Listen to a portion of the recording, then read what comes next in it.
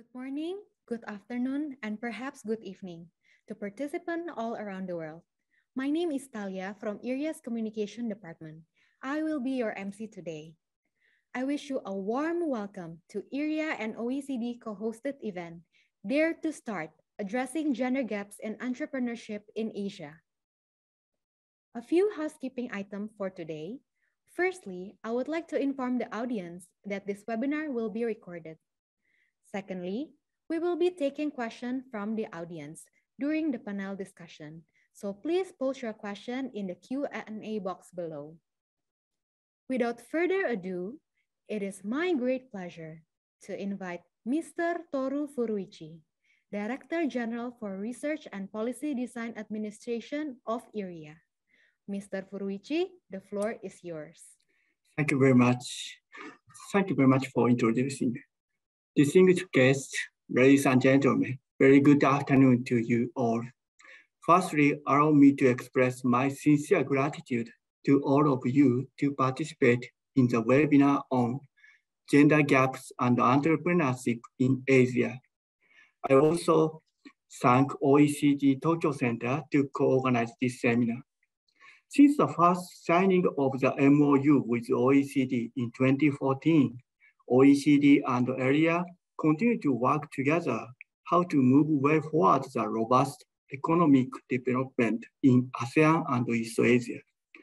We have published the SME Policy Index in ASEAN in 2014 and 2018, and now preparing the latest version.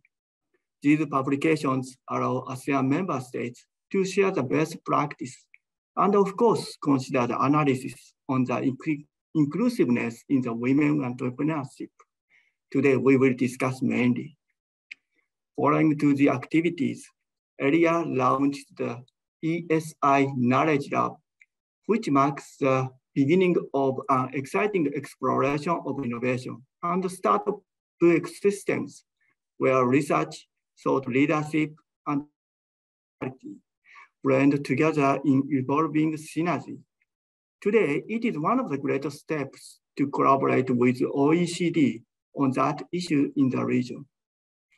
In this meeting, we invite wonderful speakers and moderators from various sectors and discuss how to boost the momentum of the women entrepreneurship in Asia from various perspectives, including the policy gaps, inclusiveness, and the importance of data collection to further promote this issue. I hope that this discussion will help raise the awareness of this issue and to ask all participants to actively join the discussion here today. Lastly, once again, I really appreciate your participation. Thank you very much. Thank you, Mr. Furuichi. I am now delighted to introduce our moderator, Ms. Jui Chakravorty, Special Project Editor for Nikkei Asia. She will lead the panel discussion today. Ms. Chakraforty, the floor is yours. Hi, good afternoon. Thank you for that, Italia. And I should also say thank you for Luigi-san, because uh, I find too often, you know, we as women are talking amongst ourselves um, and so it's, it's you know, we, we, we need all of the men as well, not just as, as passive, you know, supportive bystanders, but as actually active allies. So thank you uh, for, for actually being part of organizing today's event and, and for speaking, Furuichi-san. Um, and good afternoon to you all. I am really thrilled and honored uh, to be moderating today's session jointly hosted by ERIA and OECD titled Dare to Start, Addressing the Gender Gaps in Entrepreneurship in Asia. Uh, I'd like to start by saying actually, how appropriate is this title? Dare to Start. Um, as someone who has founded and built a startup ground up myself, and, and, and having gone through that journey, I can say firsthand that courage is the first step. right? Having no fear about the concept of what society labeled as failure. Just having the conviction to say, this is what I want to do. There is a need for this, and I am the right person to do it. That takes a certain boldness. And as women, uh, we are socially programmed to come to that point of courage, that point of daring to start with far more difficulty than men. Add to that the challenges of defying social expectations, getting funding, being taken seriously uh, by clients. It's an uphill battle. And progress comes from innovation. So when you have a system that is shutting out basically half the eligible human population, i.e. women, from daring to start, as a species, as humanity, we are setting ourselves up for failure. So thank you to both ERIA and the OECD for facilitating this very timely, very essential conversation today. And before I introduce the esteemed panelists, um, I would like to remind you, as Atalia said, that today's webinar is recorded and you are encouraged to ask questions using the Zoom uh, Q&A chat box that you will probably see at the bottom of your screen. Uh, and I will pick up the questions um, at the end of our panel discussion. So with that said, um, today we will discuss the nuances, challenges, and solutions to the gender gap in entrepreneurship in Asia, with an eye, of course, on the rest of the world as well. Uh, with Naoko Kawaguchi, who is the acting head of the Tokyo Center of the OECD, Giulia Ajmone Marsan, who is the Director of Strategy and Partnerships at ERIA, Natalie Au, Senior Associate, Gender Platform at the Asian Venture Philanthropy Network, and Kanyasorn Tansubhapol, Assistant to the President for Special Affairs at Chulalongkorn University. Thank you all for joining us today. Um, I'd like to start with you, Naoko. Um, you, as in the OECD, recently prepared a progress report of the adherence to the recommendations of the, the, the 38 uh, member countries and beyond. If you could give us some insight into the progress, what your findings were, uh, that would be great to, to set things off today. Thank you. Thank you, and um, good afternoon. Thanks so much, Jui, for um, the wonderful moderation, and um, very pleased to be here. And first, let me thank ERIA and its team for organizing this seminar today with the OECD Tokyo Center. And I want to re reiterate the fruitful cooperation um, uh, between, of course, uh, the media here, but then also um, ERIA. And thanks, Jui, for your, your kind introduction again. Um, today's discussion is really timely and um, and because, well, as you said, Jui, um, by uh, empowering women and uh, tapping into the untapped sources, um, we'd be able to um, expect more economic growth and in, in, a way that is more sustainable and inclusive. So um, at the OECD, as you said, we monitor progress made by countries to close the gender gaps in uh, employment, education, entrepreneurship, and public life using the OECD's gender recommendation from 2013 and 2015. And just last month, as you said, the OECD reported back um, on the latest progress. In fact, across OECD countries, gender gaps in entrepreneurship have slightly narrowed, but women, of course, experience greater barriers than men to set up, maintain, um, and maintain their businesses um, as uh, we we always used to to have. Um, so, just some key points from the progress report. Um, uh, just to set the scene, um, while self-employed women continue to be less likely to have employees than, course, self-employed men, the gap has still closed in recent years. Um, between 2016 and 2020, this gender gap narrowed in 20 OECD countries and closed by about 2% overall, the gap narrowed in the in, in the most in Latvia, um, uh, 1.3 percentage point, and Ireland um, minus one percentage point over the last five years.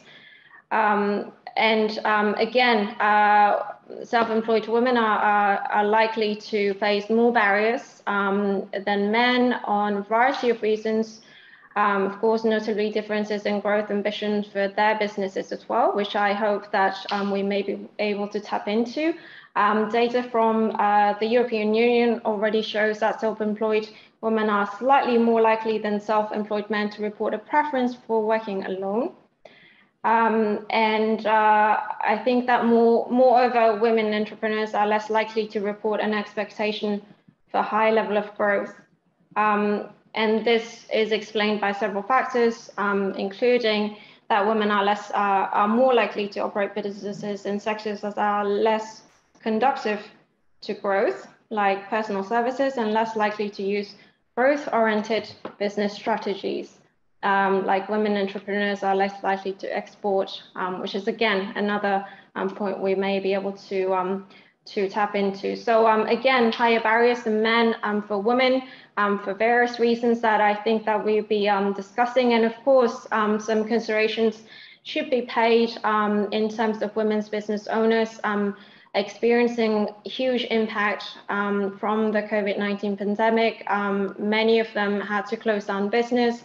Um, of course, coming back to um, various uh, persisting barriers um, like access to finance, um, but all of the issues that we will be tapping into later. And I think, well, again, uh, gender equality and diversity is good for business and economy. And I just want to say that in the OECD, we just want to make sure that um, uh, um, you know, to make the link between women's empowerment and economic growth, because this can really be the only way that we can push our efforts further, like we are doing in the G20 um, on the Brisbane target.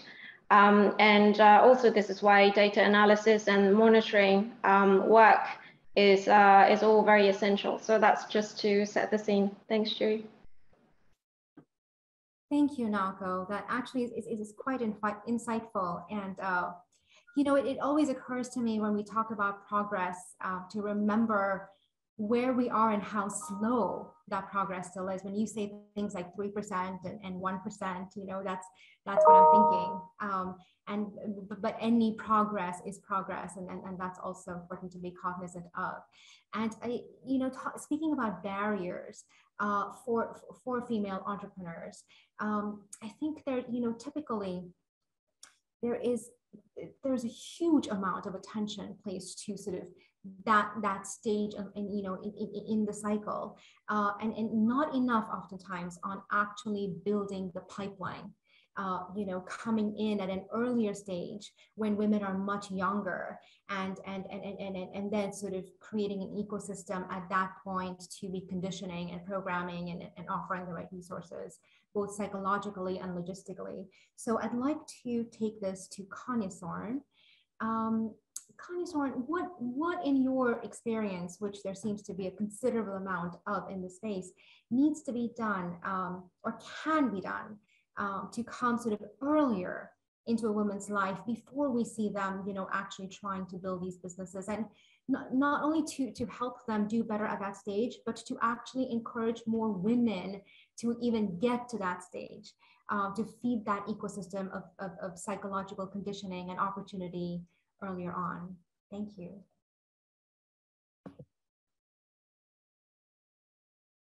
Uh, I think you're muted, Kanyasorn.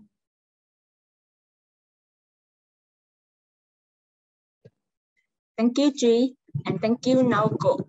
First of all, for, for inviting Chulalongkorn University to, to join this interesting, interesting session.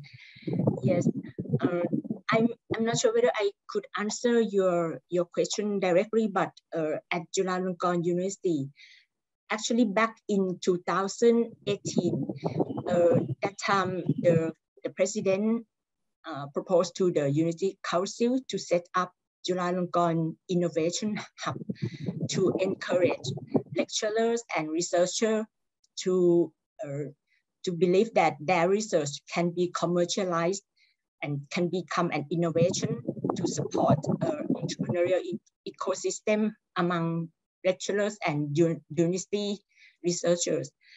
And actually, we, we couldn't do this so much with flexibility until in 2019, the, the president uh, set up a CU enterprise under the Uni University Holding Company Act, which are allowed by the Ministry of Science and Innovation and Technology.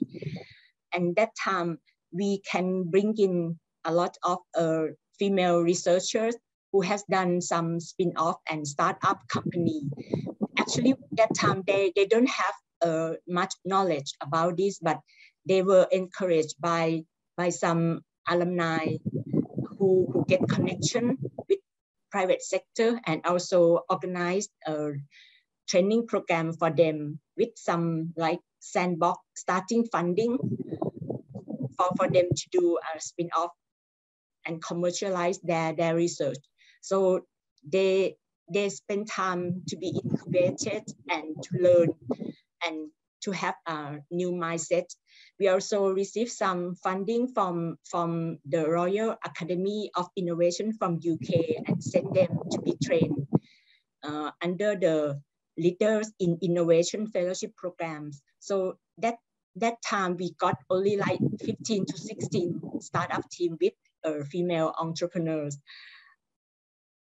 uh, at that time, I, I may not say they are entrepreneurs yet, but they are female researchers who, dare to start. And last weekend, we just got a story from them to share with, with uh, participants at a program under the university funding called the University Holding Director Program. So they share their their story become before they become more successful like today. I can share that they are from Bayer Farm, which uh, from the Faculty of Pharmaceutical Science. They they learn how to produce a protein plant-based vaccine.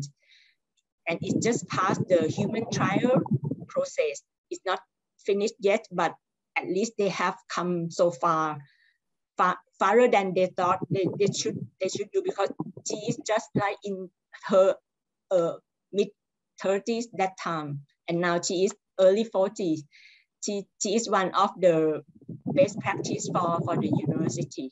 That's so, really great Kanyasorn. that is that i mean that that right there is is the narrative of, of progress. And uh, you know that's that's really good to hear. Very heartening. Um, you know one of the, the, the common themes, you know, in what Naoko said and what you said. Certainly, you know, Naoko talked about how women are, you know, less likely to report high levels of growth. And, and you talked about how, you know, women need to be sort of prodded um, to know that their research can be commercialized. Um, it just, you know, it, it seems that we just, uh, we need more encouragement than you know than than men men do you know largely due to the way that we're programmed from a very early age. And so i'd like to take this now to Giulia. Um, Giulia if you could please talk a little bit uh, about you know why it is particularly important to encourage more women uh, to, to come into the digital economy to come in as entrepreneurs uh, especially in sort of this post-pandemic era and or, or what is sort of becoming the new normal uh, pandemic era and, and, and how maybe, you know, how, how, how we can go about doing that. Thank you. Thanks, Jui. Uh, let me continue the conversation uh, uh, going deeper and following up to what uh, Naoko and also Kanyasorn have said. First of all, I mean, over the last couple of years, uh, thanks to the generous support of the Australian government, we have started investigating this issue the issue of the participation of women in the digital economy in this region, in ASEAN. And you know, the issue of entrepreneurship, uh, more in general, it's also an area where we are actually collaborating quite actively with OECD, in particular with the colleagues uh, from the OECD Center for Entrepreneurship. So I'm really glad to be here and participate in this conversation today. But why this is so important? It is so important because in ASEAN, we are talking about some of the fastest growing digital economies in the world. And this is a phenomenon that has been even accelerated during the pandemic. So as you said, Ju, I mean, uh, if we are leaving behind 50% uh, of the population because they cannot equally benefit from the digital transformation as men, then we have a problem. And we have even a bigger problem if we want to build uh, in the post-pandemic recovery more inclusive digital economies or economies and societies more in general, as everybody is discussing nowadays. So again, this is a global issue, but is an even more prominent issue for ASEAN because the digital economy is accelerating so fast. And because we are observing that the good jobs for the future, those that are well paid uh, and you know will uh, uh, give access to better position are those connected to the digital economy. So it's even more urgent and pressing to fill in this gap. There is no easy solution. Uh, it's, uh, it's, I think it's a long education process. Um, and you said it, uh, women typically face more barriers. Uh, that's because of many reasons, social norms, uh, but also lots of biases uh, everywhere in every domain of our lives and societies. Many of these biases are unconscious. So this is something that, again, we really need to fix with collective action and you said it at the beginning, Julie, it's also really important to make sure that men are part of this conversation. This is an education process that uh, uh, the entire society should go through, men together with women, uh, starting from uh, very early ages. So uh, I think uh, the issue of skills and education is absolutely crucial to address this issue. and then, I mean, there are also very practical steps that could be, in a sense, taken forward think about uh, recruitment processes, making sure that hiring panels uh, have a good representation of women, especially when we talk about position related to the digital economy, to make sure that uh, uh you know when you put more women in the room, uh, you know that already the percentage of women that are hired goes up. And this, I mean, we keep saying it relentlessly. Uh, there's a lot of evidence, lots of literature also showing that uh, having a more diverse uh, group of decision maker uh, in different uh, stages of their career is actually very good for innovation.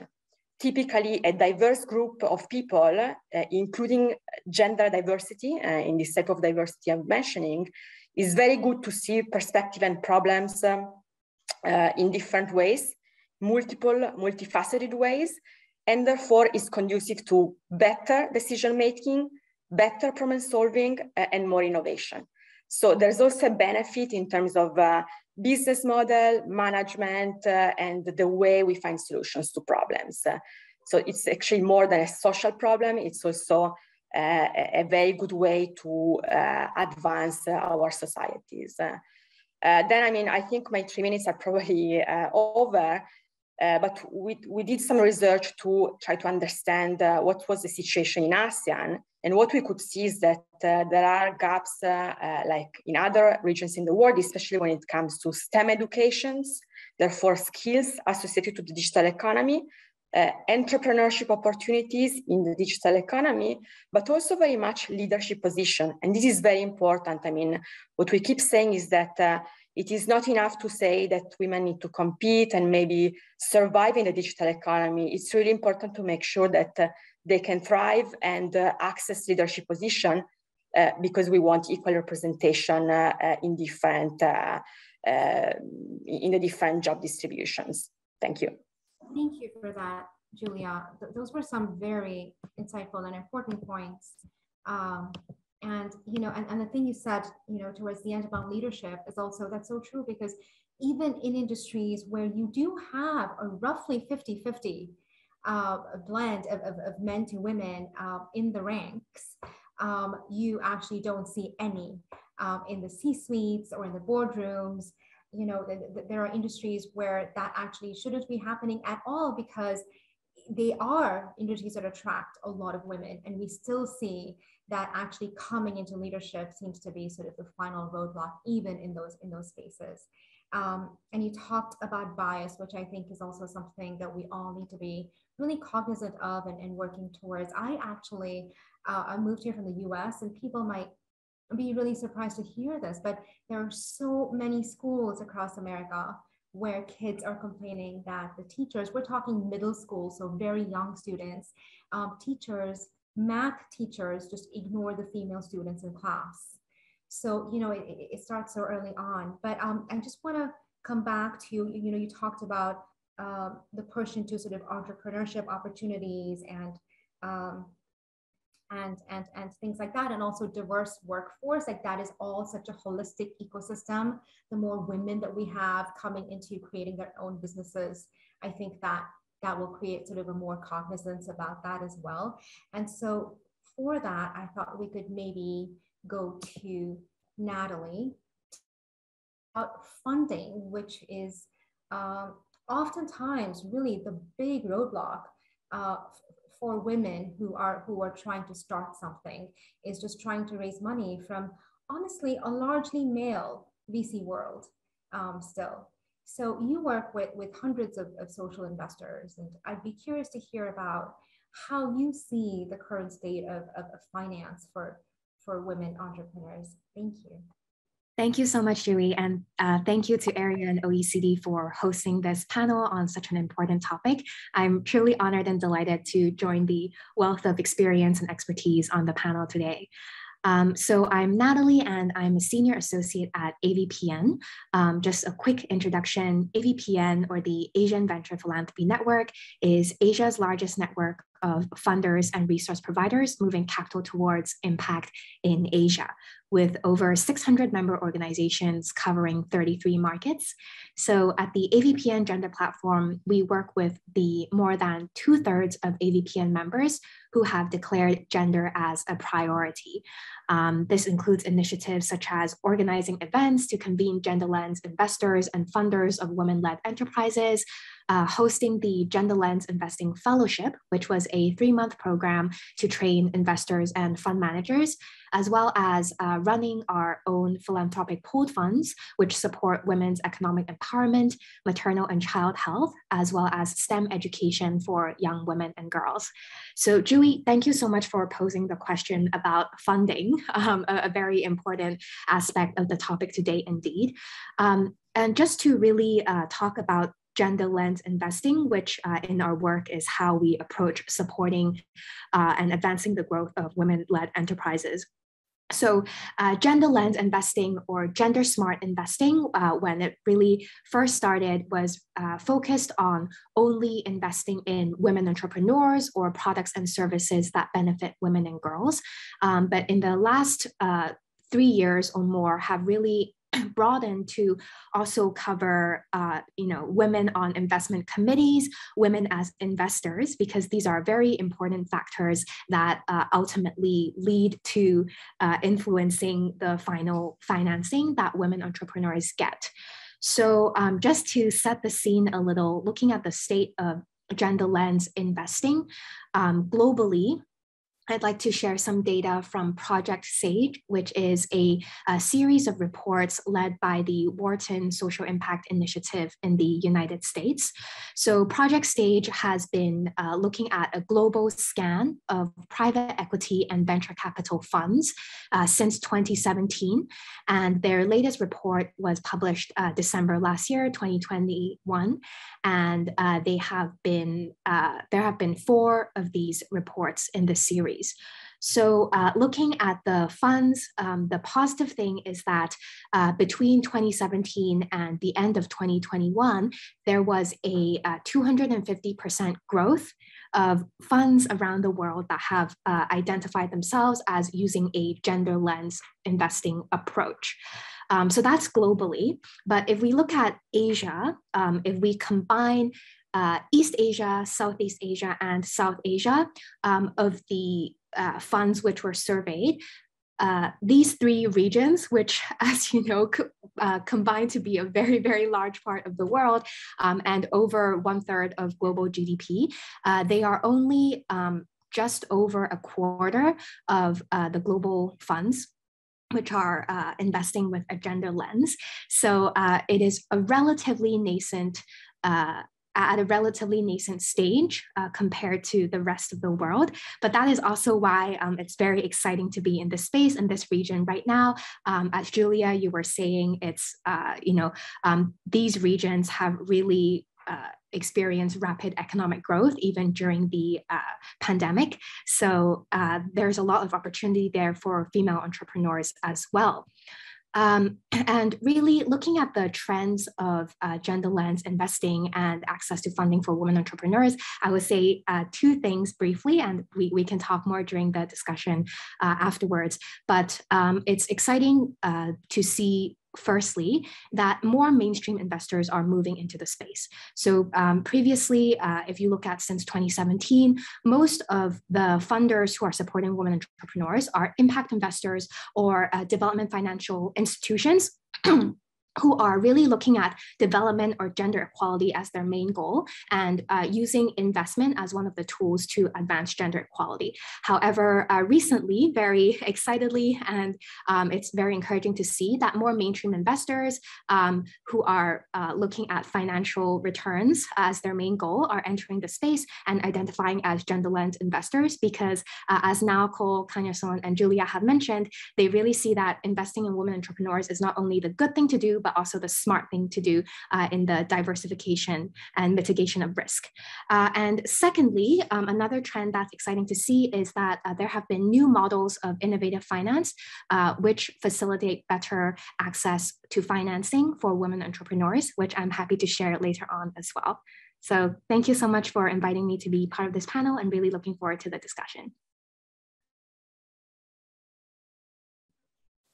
Thank you for that, Natalie. Wow, there was a, a lot of very good information in there. And uh, yeah, funding sort of, you know, becomes to round it all out, just such an important part of it for, for a lot of journeys. It is the first step and, and oftentimes also the last step as they're sort of looking to exit.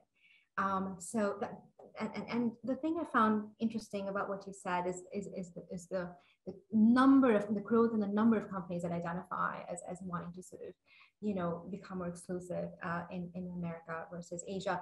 Just for some perspective, um, this, you know, this number really shocked me. And I, I don't know if it's as shocking to everybody else, but I was looking at the amount of venture capital raised in America, how much of the venture capital raised went to women, and it was 2%.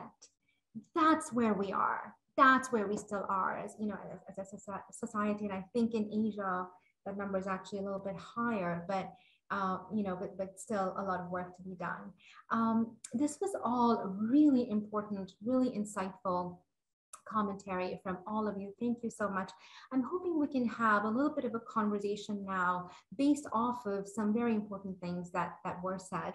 Um, one of the things that's really swirling in my mind um, is is really social conditioning and programming. And, uh, you know, if, if you think even of, of sort of raising money, uh, venture capitalists, they are, they expect very aggressive projections. Like that's just what you're supposed to do on your plan, what you're supposed to show.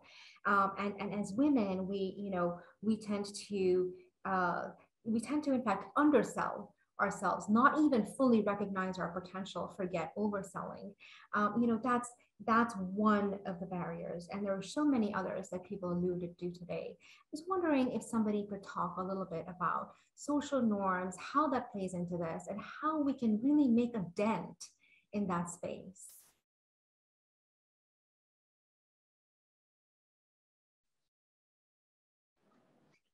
If I, if I may, Jui? Please. No, that's that's a great point, and I just wanted to um, just quickly um, touch on that issue. And I'm just also going back to what you said right at the beginning that you know women are socially programmed, and I think that also goes back to this um, issue of traditional social norms, and I think that's very that's um, very very um, well staggering, uh, especially in this region. And I just wanted to give some some um, thoughts maybe from the um, the work that the OECD is doing in its development center um, called Social Institutions and Gender Index. When we, we measure um, discrimination against women in social institutions across 180 countries, and and what, what's um what we came up is that um, well actually um, by tackling the social norms um, that can translate in an additional um, 3.3 points um, percentage point in annual um, GDP growth in the Southeast Asia region. And well, knowing that, um, uh, and also just uh, showing to you that um, unpaid care work in the region is, is really um, is, is hugely um, uh, uh, under the, the shoulder of women and girls. And um, there is a huge sort of um, country um, uh, um, diversity in the region. So we can't really um, generalize this issue in the region, but I'm just let, letting you know that in, in 2018, for example, women spent in the region on average 3.8 times more um, uh, time than men did on unpaid care work and domestic work, including on raising children, um, you know, caring for sick parents and um, managing household tasks. Um, and uh, of course, there are there are national um, uh, diversity, and um, but then you know, Cambodia is the the big uh, there is the biggest gender gap. Um, there is Cambodia has ten times uh, more for women to spend on unpaid care work. Why, why am I saying this? Because even with the network and sort of education and um, skills and, and all the things that are um, needed for the women to thrive in this entrepreneurial um, activities, um, if they are not um, given the time, and also this um, uh, the social norms that are sort of holding them back to to get into this this world, and of course, they're to start um, then I mean, uh, nothing could happen. And, and I also wanted to say that, you know, in still in some countries, because of the social norms, um, there is this issue of, um, you know, uh, having uh, women having their own bank account or credit card. I think that that's also a huge issue um, that maybe Natalie, um, you may be able to um, uh, have, have some further insights on. Um, and also, I, I, just wanted to say that that also kind of loops back into the, the financial literacy issue um, uh, that also kind of go back to um, Kanyasorn's um, uh, points earlier that um, it's, it's not just about um, having, uh, you know, thinking about having good education and, and, and program in, in the, um, uh, you know, by, by, by ourselves, but, um, but some countries are doing uh, greatly in terms of um, integrating financial literacy in their national curricula from early on, like primary school and secondary school. So um, that's uh, and and even some countries have independent program on entrepreneurial um, uh, work. So um, I think this this also kind of goes back to what national governments can do um, in terms of having um, in terms of equipment equipping women and girls from early stage to think about and to to have the skills when they want to start up their business to to be able to uh, to be able to leverage that.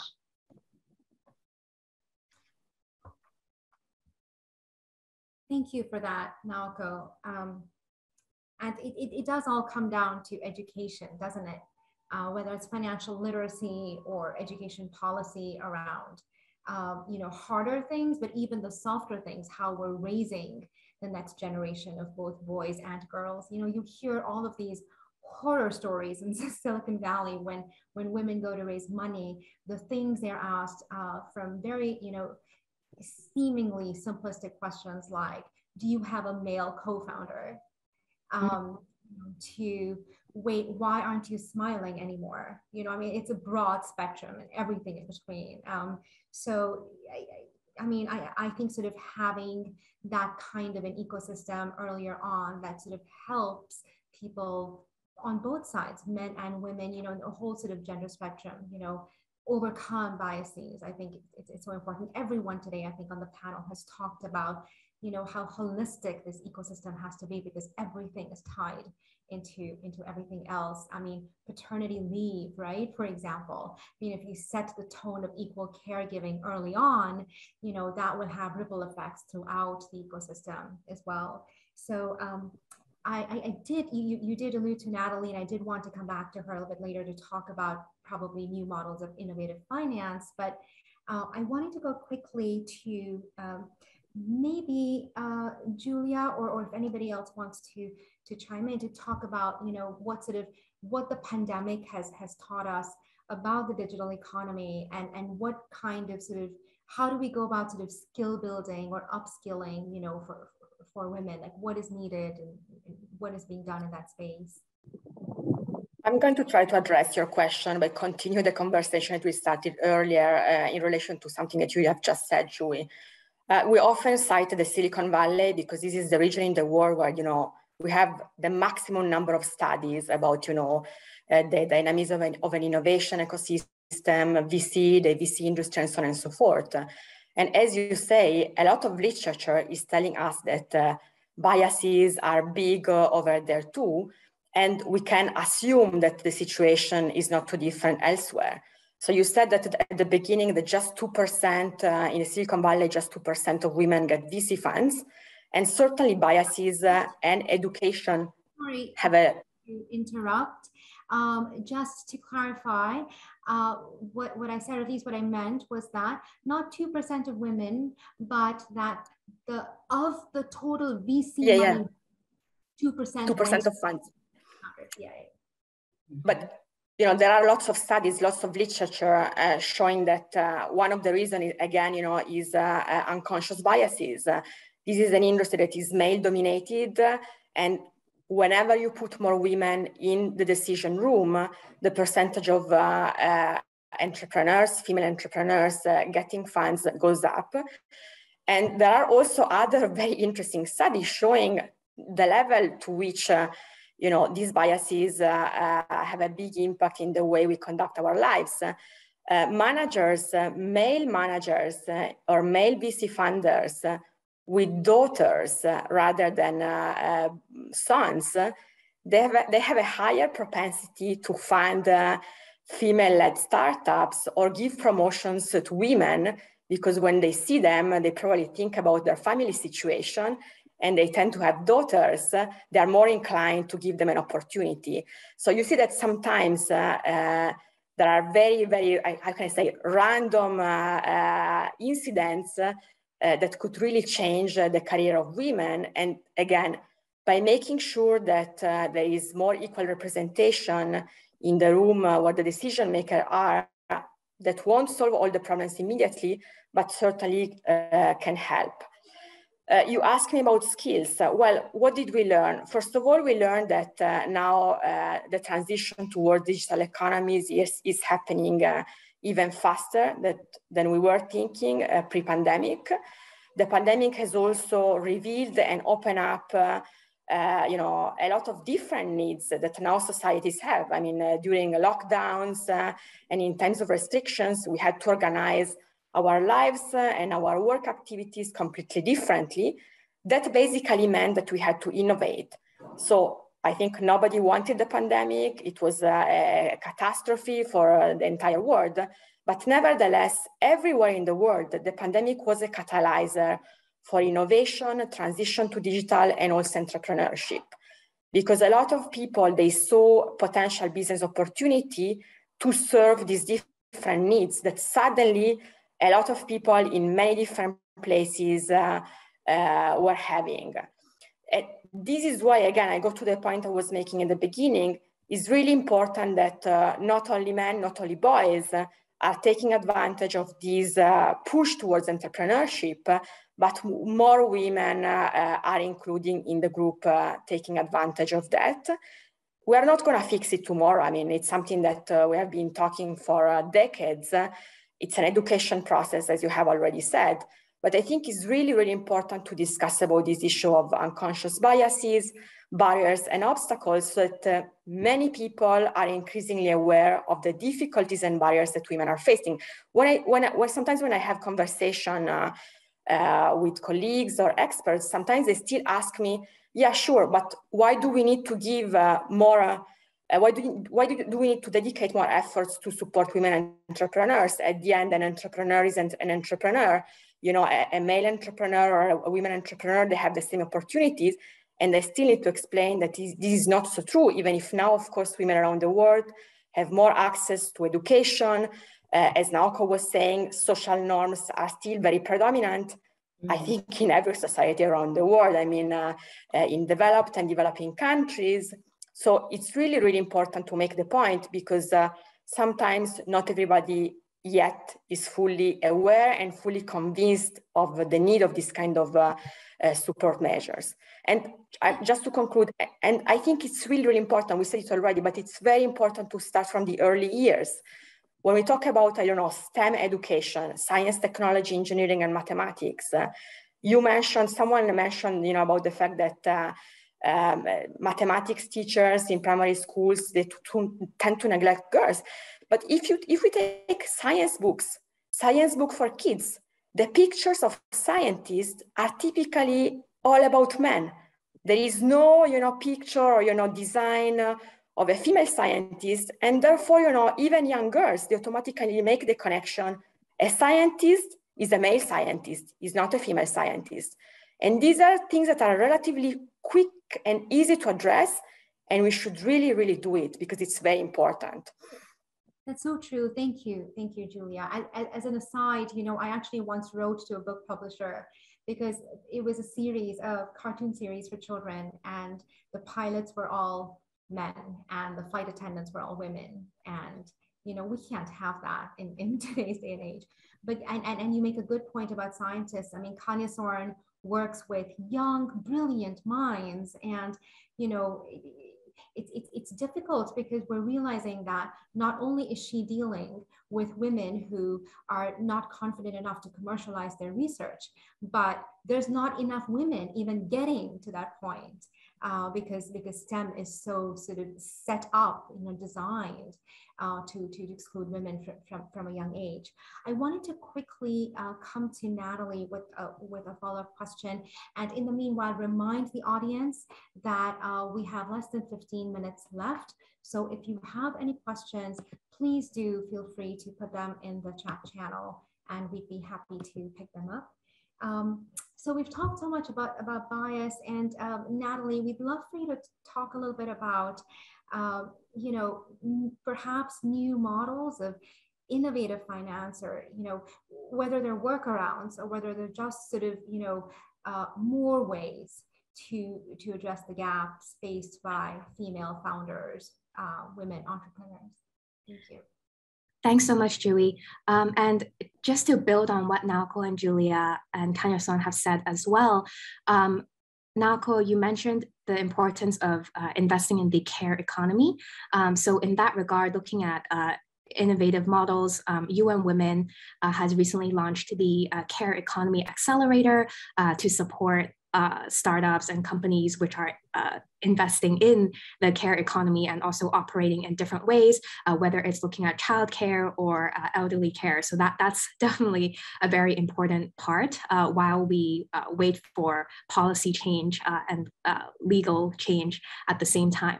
And also um, building on what Giulia, you were saying about unconscious biases and the importance of having a diverse room of decision makers and how that affects the final access to finance of women led enterprises. Um, I think this is really interesting because we have to address this issue in two ways, right? One is, um, as you were mentioning, uh, shaping education um, and uh, changing norms of how uh, these different stereotypes may be uh, may be perceived.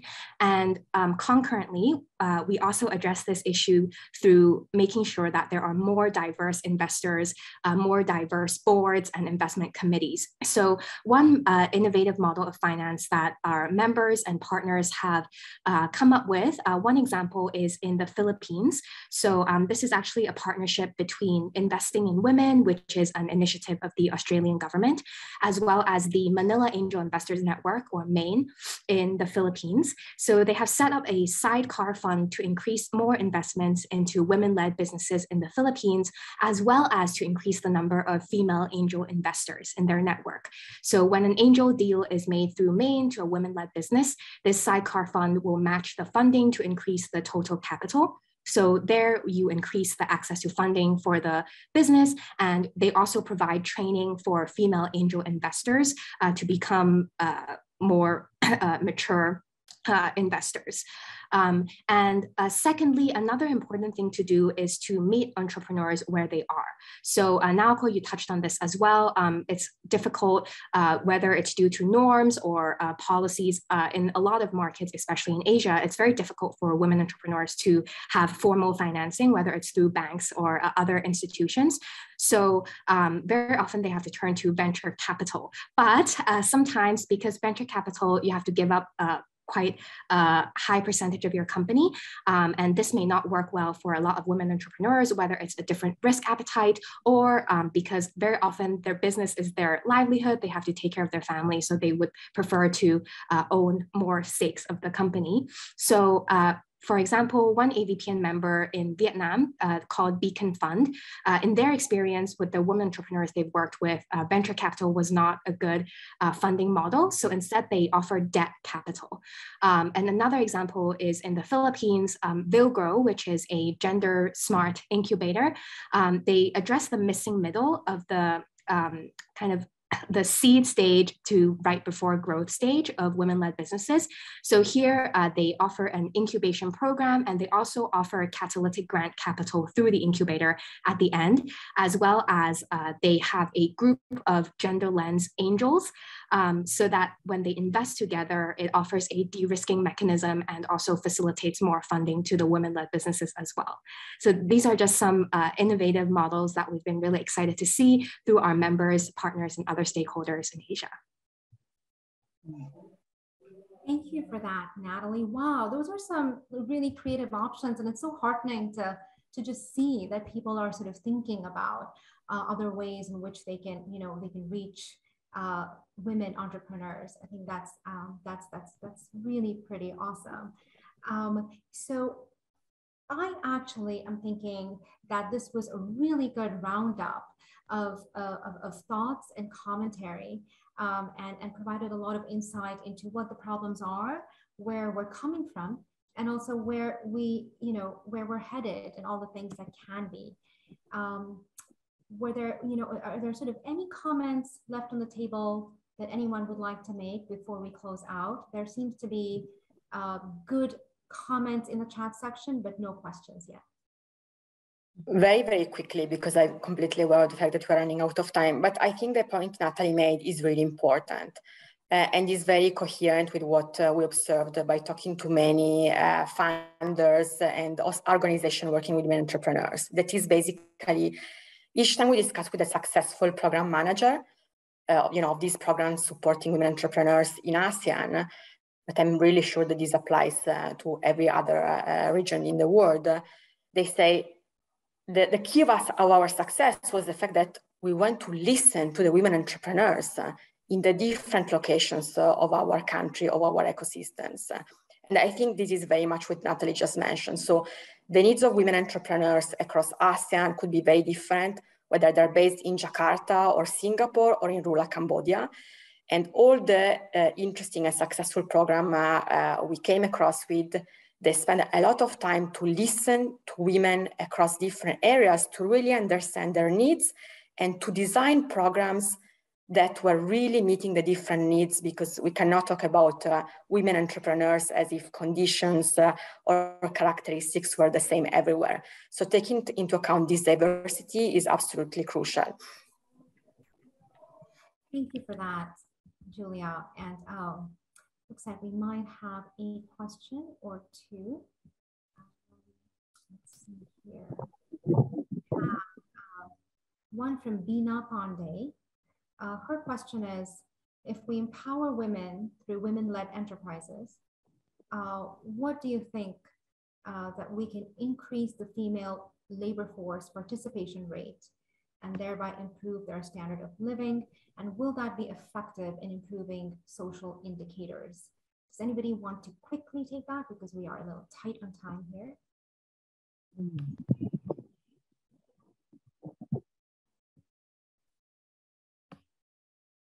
Um, I will repeat the question.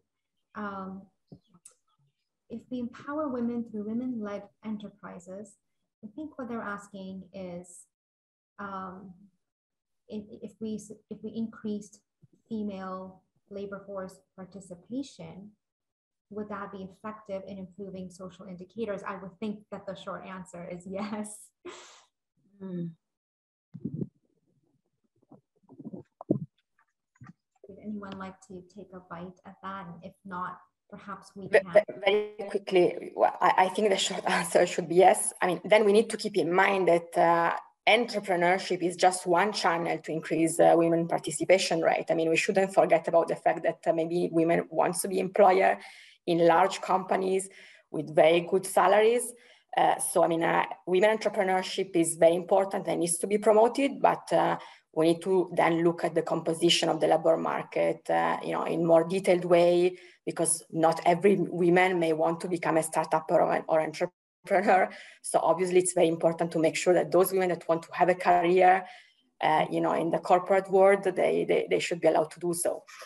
and hopefully the, the women-led enterprise bit trickles down where women leaders actually make the, you know, the, the, the gender-related policy changes within companies that uh, often actually are not made even when women are leading them. So so yeah that's that's important too. Uh, we have one more from and i apologize if i'm mispronouncing this name sound conra um, so they are saying i can say that changing social norms may take time. Do you have any experience or best practices on this? And do you think that gender budgeting is important to promote women's entrepreneurship?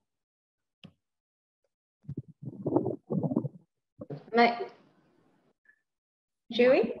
So maybe I'll just um I'll respond to that, but very quickly on the previous question, I just wanted to um I I may not have fully understood the question, but um you know I just wanted to point out that um in Southeast um, Asia region um, we have a bigger um, uh, uh, rate on the women's participation in the labor market um, compared to the OECD average, which you know may not be um, for all of you, um, all of the, the public um, uh, the general public may be able to understand. But um, that's uh, but then that doesn't mean that it is improving women's um, well-being in terms of uh, their economic well-being, because most of the jobs that they um, engage in are very low paid um, and very much disadvantaged. And that's also kind of um, uh, paving the way way for women to um, uh, start up business. But um, but then you know because of that, uh, women in the region don't really um, always sort of you know uh, aspire to grow because of the um, because of the the reason why they um, start up their business. Um, so I think it's it's also very important to see. Um, don't just look at the, the, the the figures and numbers, but just look at the sort of you know uh, the the issues behind it, and then just coming back to this issue of social norms, I just wanted to say that yes, um, in the OECD we have many best practices, and we actually do have the, um, uh, as I said earlier, we have the ways to measure social norms and also provide um, best practices. And, and actually we have this um, tools that measure uh, what we call toxic masculinities. And I'm also kind of going back to, um, I think one of the speakers mentioned this, um, uh, I think Giulia, but um, uh, there is also an issue of uh, what the some of the Japanese um, researchers call as a masculine, masculine, masculinization of deprivation that um, we also need to tackle when you know we are trying to um, uh, promote gender equality. So that's also to come back to um, you know when we try to tackle social norms, we also need to see what maybe the potential negative consequence may be, and we'll need to also address that. 100%. Um, totally agree with that. And, and, and that is, that is also such important work that, uh, that again, you know, on, on any, on any ordinary day when I wake up, I'm not thinking that there are people out there actually working on this. so that's pretty amazing. Um, thank you to you all. I think the bottom line is that uh, progress is happening, but it's extremely slow. Um, and I think there's a lot of very insightful commentary today on on things that are being done and more that that can be done. You know, a, a mentor of mine many many years ago um, said to me when I wanted to do you know sort of dare to start. Um, she said, you know, the road to success is paved entirely with losses and mishaps and mistakes, uh, but it can still take you where you want to go as long as you don't lose sight of your ultimate destination. Sometimes it's a meandering road, you know. Now I moved here from Silicon Valley where failure is worn mostly by men uh, as a badge of honor. so uh, we should, you know, we should all be courageous. But uh, I think also what we learned today is there is so much work happening in building an ecosystem that is thinking holistically and uh, and fostering the, the right kind of support uh, to help build the pipeline and then um, allow women to succeed um, to dare to start. So um, with that, we are closing the panel. Um, but I must not leave you without telling a little bit uh, about the exciting new things happening at Nikkei Asia, where I'm special projects editor, uh, which are actually related to the discussion we had today. Um, so this Thursday, uh, Nikkei Asia will be launching a new storytelling platform uh, on which we will be showcasing uh, deeply reported multimedia journalism about important themes that really are reshaping the world today. Um, so starting this Thursday, you will see a fabulous series on the future of food in Asia. Uh, lots of interesting reporting and great videos and photos um, and a very important subject. Uh, and after this series, the next series that we're working on is actually Women in Wealth in Asia. We're talking trillions of dollars. Um, and we might even feature some of our panelists from today. One of the pieces in that series explores uh, the female founder's journey in Asia and compares it to that journey in America. Everything from you know raising money to exiting and everything in between. Uh, and we found some very interesting uh, statistics that might turn the stereotypes on their head and offer a bit of a counter narrative to the general perception of, of women in Asia, especially in the West. So please check us out on Thursday uh, and beyond at asia.nikkei.com. Come back often, subscribe, and stay tuned. Thank you to you all so much. Have a great day. Thank you. Thank you, Ms. Chakravorty, for your excellent moderation. This brings us to the end of the event. I would like to thank all of the panelists and moderator for participating and making this such an interesting and inspiring webinar. And of course, thank you to all the participants. Your attendance and questions are greatly appreciated. We hope that this forum has been informative and useful for you. For any of you who have questions about any particular issues, please always feel free to contact ERIA Secretariat at, at contactus at eria.org. With that, I bid you all farewell. This event is now closed. Thank you so much.